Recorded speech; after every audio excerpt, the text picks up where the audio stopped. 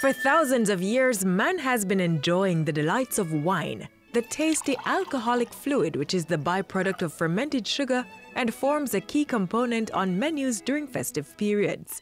Whether it's dry, sweet, or the sparkling variety, you can learn to make your own as an amateur fermenting for home use or a professional running a lucrative business. The Rural Agricultural Development Authority RADA is fueling local interest by providing training in basic winemaking for persons in farming communities where there's an abundance of suitable raw materials. Today, we're in class, learning the rudiments for the amateur winemaker. This is one way we can utilize our fruits and our vegetables. You can use things like breadfruit too. But the thing is, it's nice to use the breadfruit when it's lush and ripe. You know, when, the man, when you're ready to throw it, you say plaka plaka, that is when you use it because you get a real nice flavor from it. You use your soursop, you use everything that is there and get value from it. You, you, we talk about adding value and, and making the country go in terms of economics. That's the means. We have a lot of herbs like or guinea hen or aloe vera and so forth. So the, the home using doing winemaking is one means of utilizing all of those. And now that it's Christmas, if you had set your wine, say from June, July, you wouldn't have to buy some gifts because you could prepare your gifts. Wine is basically a juice that you're allowed to ferment. And how you work the juice is what gives you a good wine or gives you vinegar. No, there are two main, three types of wine, three types of wine. This is yeast, and it is one of the main, it is the main source of your winemaking. The sugar is what feeds the yeast, producing the alcohol and the CO2. When you're ready to do your thing, what you can do is um, put a little water in a container, dissolve, and then you can put this in it. And if it stays there and bubbles and starts like it's spreading, the yeast is good and well. If it, draw, if it falls to the bottom and not now go on, your yeast dead. So therefore you can't use it to make the wine.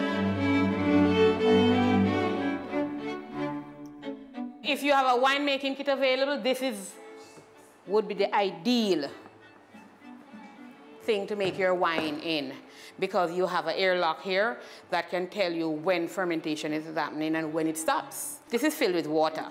And when the wine is being made and the CO2 is being given off, the water in here bubbles. So automatically when no bubbles is coming up in here, you know that fermentation done. So you can pour off your thing. If you're just going the, the real homemade style, when you don't have the facility, all you have is a keg. So you're going to work from the books. The book says three weeks. Say you're making um, pineapple wine. Nice to use. It's the best sugar to use in that case would be the granulated sugar. Remember the granulated sugar is clear, so you would see the yellow, it would show. If you're doing a batch of roots, you're going to be sweetening with molasses and the dark sugar. Because when you drink your roots, you want that earthy taste.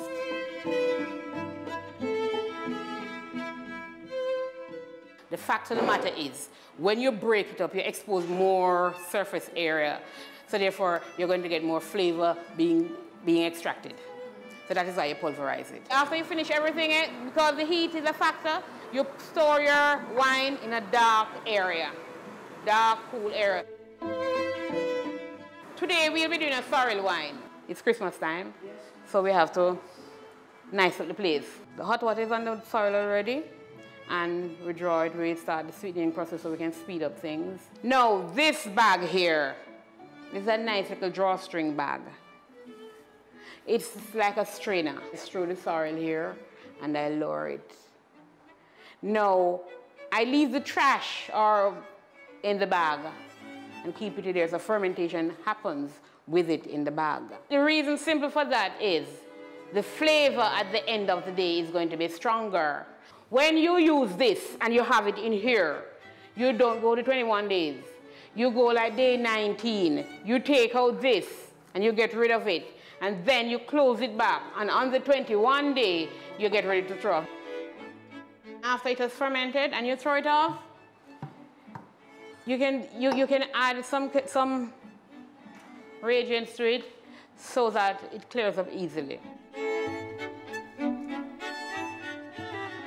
The recipe calls for four pounds of sugar. I've already added two, so I'm going to add the other two.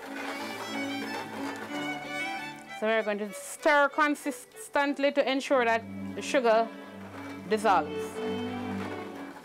Now, it is important to remember that the sugar content affects the alcohol content of the wine. You may add too much and just get a very sickeningly sweet wine because fermentation isn't complete. Now we are going to measure our yeast to add. Need one tablespoon of yeast. This mixture is sorrel, ginger. So all of those little things you see there, that's ginger.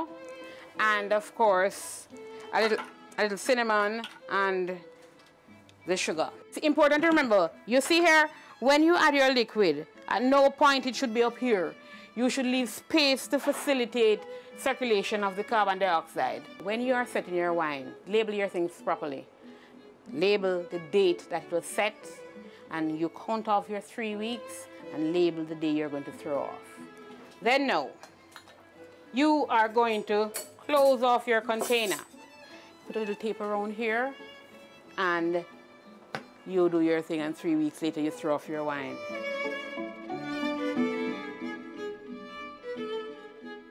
So we are going to decant and please re realize I'm not saying strain, I'm saying decanting because strain you would get the impression that you're going to throw it to a sieve. We're not doing that and you do it slowly.